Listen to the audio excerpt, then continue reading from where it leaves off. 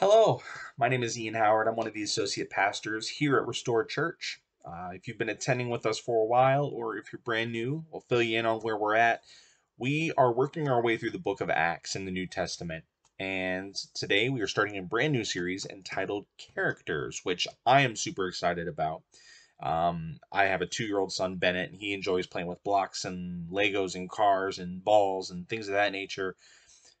But he hasn't really figured out the whole dress up thing. Well, that was my jam as uh, as a youngster. Uh, I just recently turned 33, so probably about 30 years ago, I loved playing dress up. Uh, I have a little sister, and she and I would always uh, dress up in costume and play together, and we always loved being different characters. Even to this day, I love doing impressions of people because uh, I think there's something fascinating and something that we can learn from other people. And so uh, I'm excited to dive into this series of characters and see what we see in the book of Acts, what we can learn from these people, and uh, and what God has for us. So let's get started. Uh, originally on the schedule, I was slated to speak on Stephen, the first martyr of the church, and I approached Aaron and I said, Aaron, I don't really want to lead off with Stephen on the first Sunday of 2021 after the year that was 2020 pandemic and what have you. Um, you know, can we start on a on a brighter note? He said, "Yeah, sure, fine. Pick whatever you want." So I twisted his arm, and I actually uh, today we're going to be talking about Philip, uh, who actually is is near and dear to my heart. I grew up in the Salvation Army, uh, which is a worldwide evangelical uh, mission.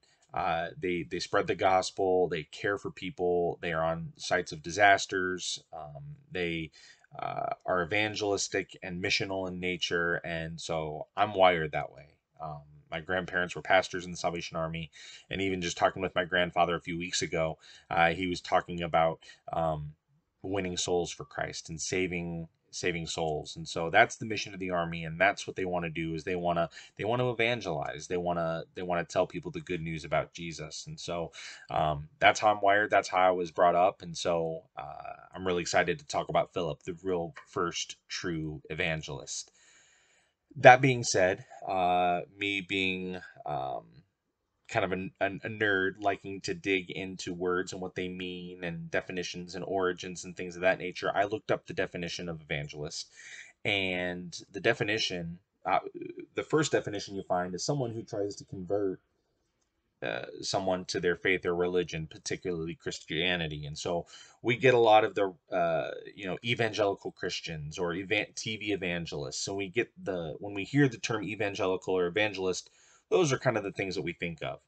Um, but I dug a little bit deeper and I found a definition that I absolutely love. Um, and it just is a couple words that we're all familiar with, but I feel like explains it so well. An evangelist is someone who is a zealous advocate for something. Um, so I feel like that describes me perfectly. I am a zealous advocate for Detroit, for the state of Michigan. Um, specifically Detroit style pizza. I know of three or four places here in the DC area. So if you're hankering for a good slice of Detroit style pizza, I'm your dude. Uh, I don't know people. I can't be like, hey, tell them my name. Like, people just look at you crazy. But I can get you the restaurants and where to go. Little Caesars is probably the easiest for those of you that don't know. Your fun fact of the day Little Caesars is Detroit style pizza and is a little taste of home for me. Anyways, more zealous advocacy. I'm a zealous advocate of all of Justin Timberlake's albums because he is, in fact, the greatest artist of our generation. And uh, that I will fight to the death on. Anyways, I'm also a zealous advocate for teenagers because I think that they're misunderstood and underappreciated. I'm a zealous advocate for Jesus Christ and his ways uh, because I think he is just the best and uh, I believe he shows us a better way to live than our own, and that he offers us something bigger and better to be a part of. So, Philip happened to also be a zealous advocate for Jesus, and he knew and believed in Jesus, and he knew that his ways were the best, and that Jesus was who he said he was in being the Son of God. And so, the first time we see Philip come onto the scene, all great characters have an origin story. Um, I think in comic books and movies, you know, we love hearing about how these characters got started, and so, eh, you know, I'm not going to go into Philip's birth and where he's from, etc. Um, but we first see Philip on the scene uh, as one of the seven men appointed to care for a group of Hellenist widows that were being overlooked in Jerusalem. Now, Hellenists were, in this case, a Greek-speaking Jew. Uh, who was also aware of the Greek culture, literature, art, etc. Philip, along with Stephen, whom I mentioned as the first martyr, We'll talk about him another day. But those two uh, were Hellenists as well. And they were able to speak the language, they were able to identify and relate with the culture. And so when this need arose within the church, which, as we know, the church's biggest uh, impact early on was caring for orphans, widows, poor, neglected, marginalized people.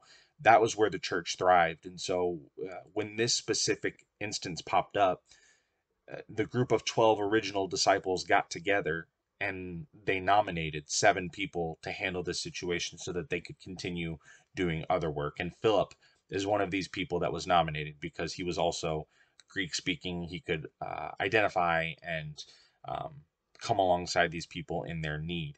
Now, personally, I can't help but wonder if Peter, John, and the other apostles saw something in these men, specifically Philip that showed maybe an inclination or a gifting towards zealous advocacy, towards evangelism. Maybe they saw giftings in each of them to connect with and care for other people.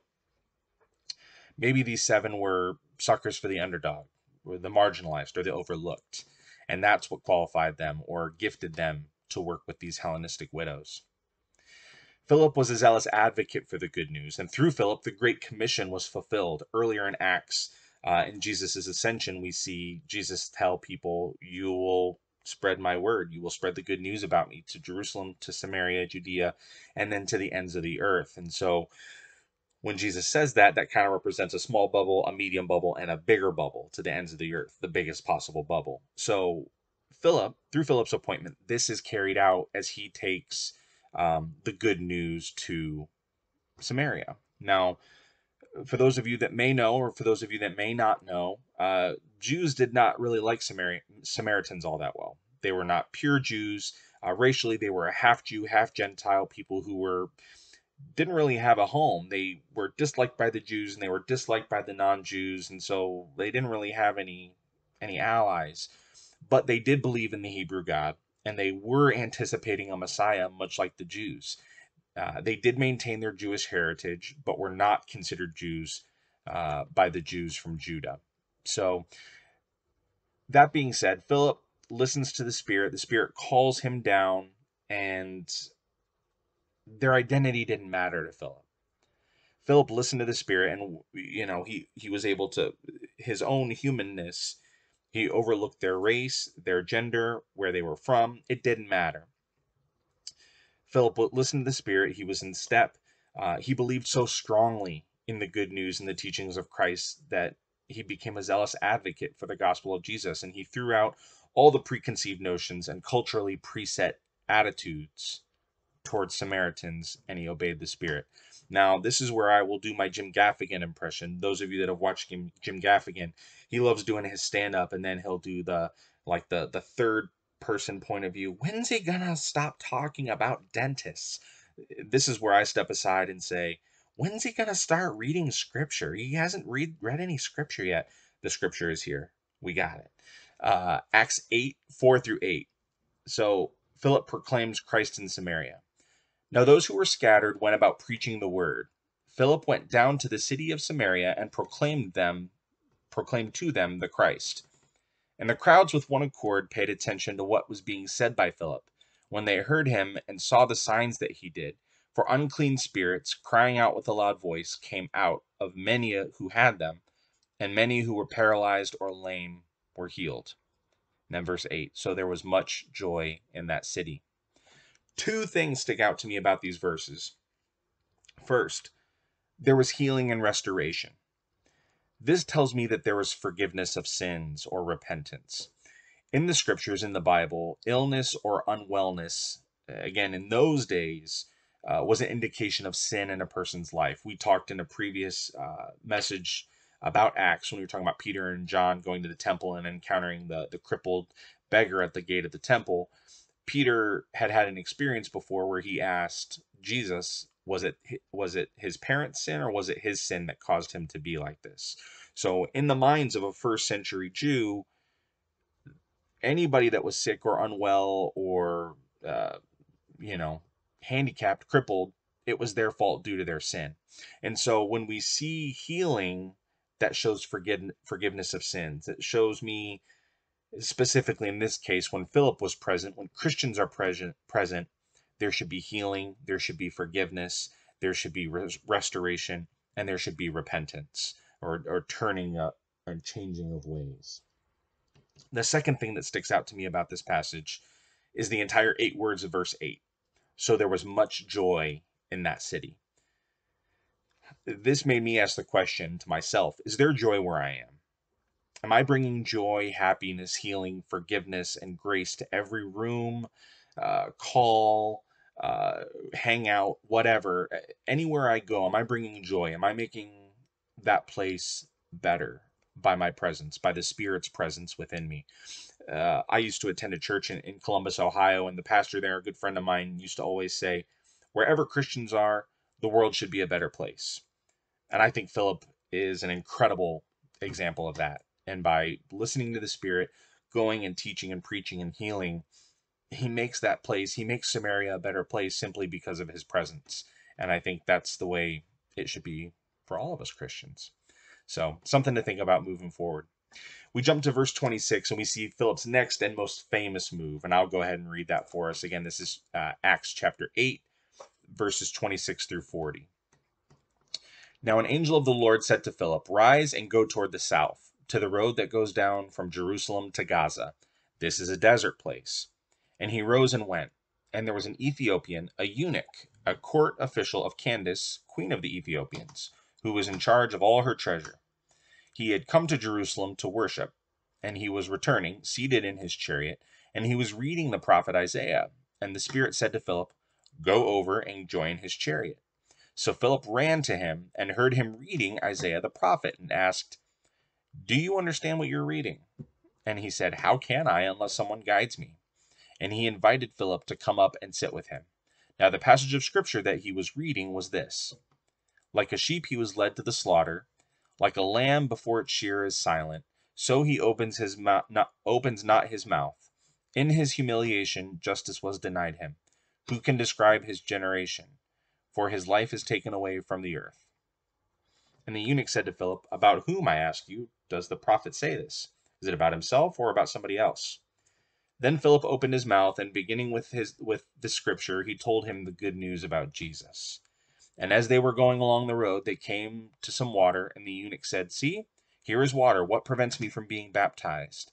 And he commanded the chariot to stop, and they both went down into the water. Philip and the eunuch, and he baptized him. And when they came up out of the water, the Spirit of the Lord carried Philip away. The eunuch and the eunuch saw him no more, and went on his way rejoicing. But Philip found himself at Azotus, and as he passed through, he preached the gospel to all the towns until he came to Caesarea. Again, that's Acts 8 26 through 40. sorry, jumping back to my notes. So there's a lot going on there, and there are a few things that stick out to me immediately about this passage. First thing, Philip is in tune with the Holy Spirit. The, it is clear that the Holy Spirit has come upon him and that the Spirit is prompting and leading him. And what's better is that Philip listens. In order to hear something or someone, you have to be listening. I can listen to my wife tell me to take out the trash or help with the kids or do this to help with dinner. But am I listening? Am I actually doing what she asks me to do? Am I hearing her? Am I listening? And Philip is clearly listening. Philip listens to the Spirit when he embarks on the journey. Get up, go down this road. Okay, I guess that's what I'll do. And off Philip goes.